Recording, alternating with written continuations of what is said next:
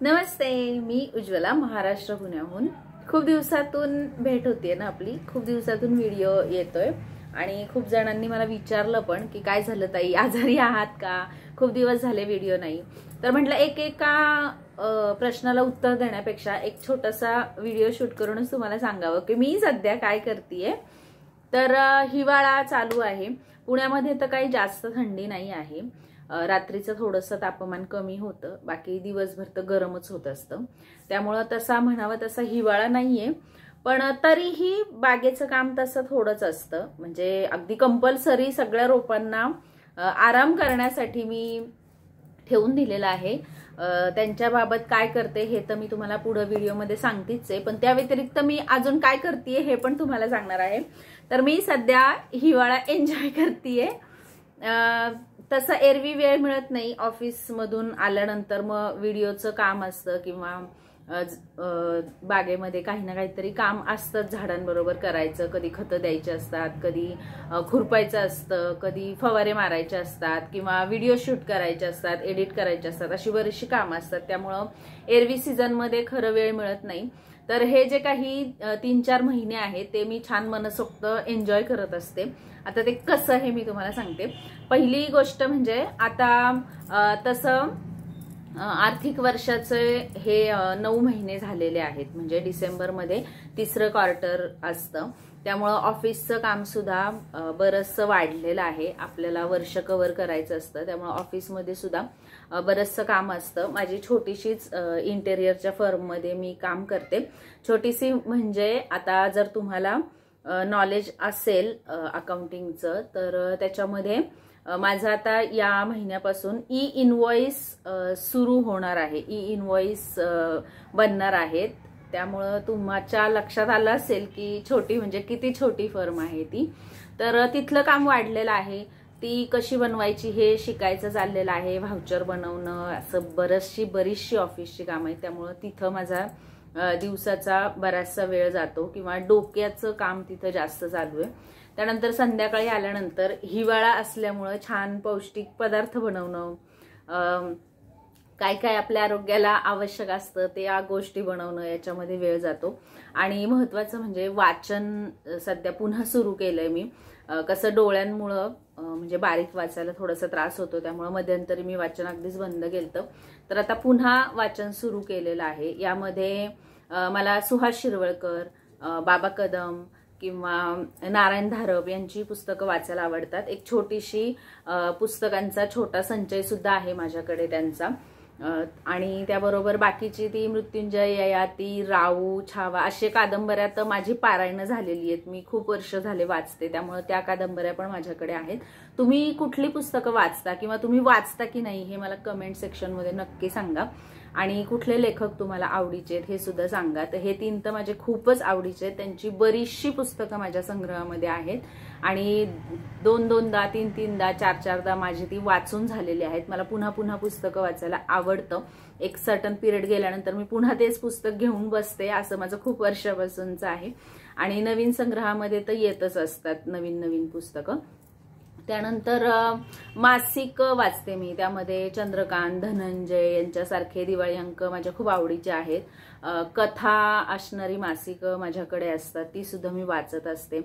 तर असं वाचनाचं काम चालू आहे.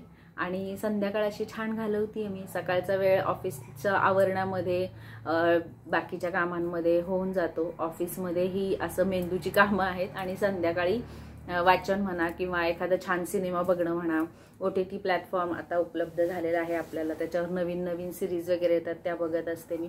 असा माझा हिवाळा छान एन्जॉय चाललेला आहे. आता बागेमध्ये मी काय कामं करते ते तुम्हाला सांगते. बागेमध्ये जास्त काही कामं करण्याची आत्ता हिवाळ्यामध्ये आवश्यकता नाही आहे.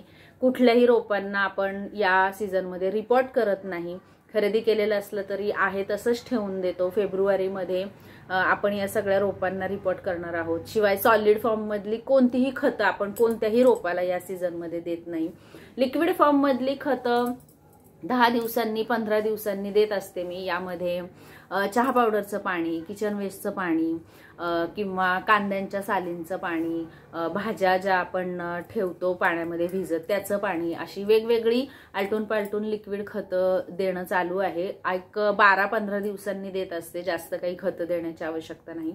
शिवाय फवारे मात्र रेग्युलर करावे लागतात. सात ते दहा दिवसांनी कोणता ना कोणता ऑर्गॅनिक बायो ऑर्गॅनिक किंवा केमिकलयुक्त फवारा करणं खूप आवश्यक आहे कारण या काळामध्ये आपली सगळी रोपं आराम करत असतात आणि या आराम करण्याच्या काळामध्ये रोपांना कुठल्याही किडीचा प्रादुर्भाव होऊ नये किंवा पांढरा मावा काळा मावा यांच्यासारखे आजार होऊ नये थ्रिपसारखा आजार होऊ नये त्यामुळं कीटकनाशकांचा फवारा करणं खूप आवश्यक असतं.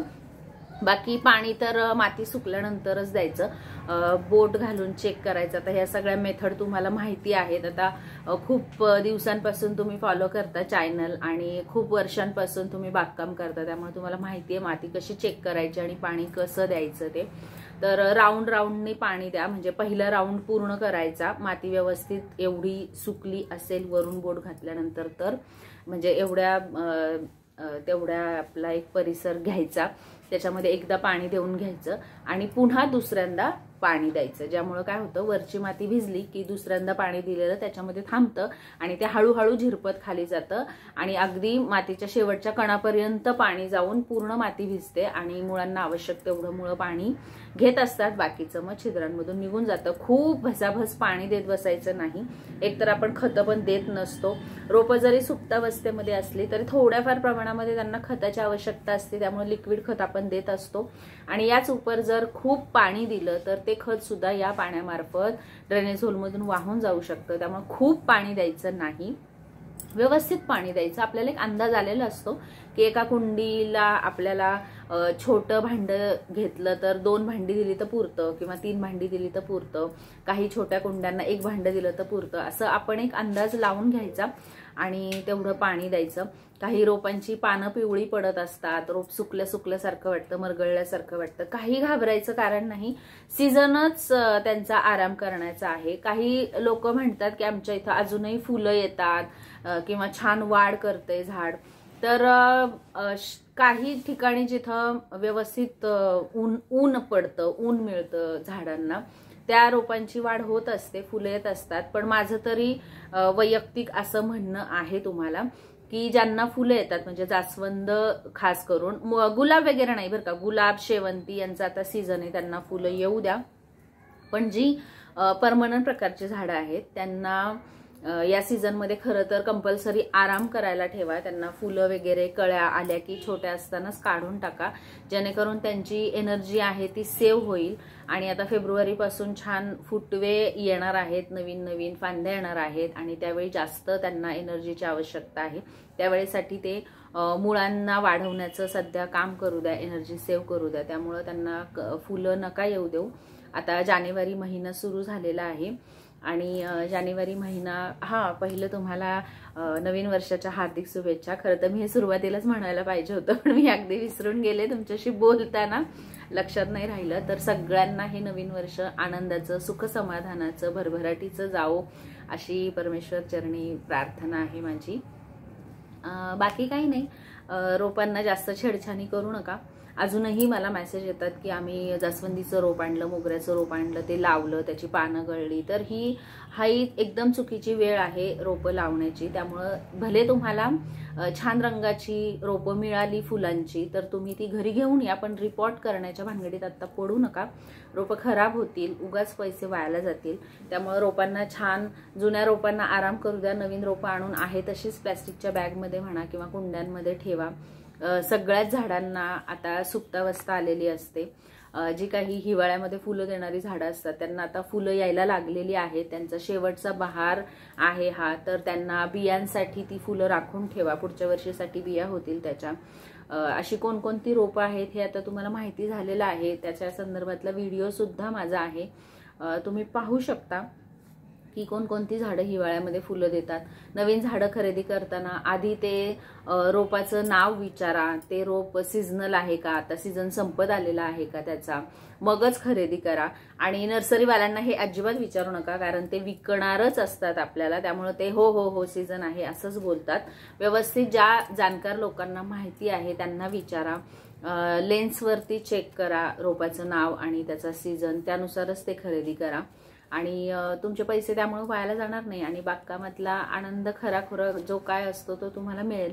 जर बियांसाठी तुम्ही खरेदी करणार असताल अशी सिजनेबल रोपं जी आता हिवाळ्यामध्ये फुलं देतात तर खरेदी करा पण रिपोर्ट वगैरे करण्याच्या भानगडीत पडू नका. आहे तसंच असू द्या त्याला डिस्टर्ब करू नका मुळं.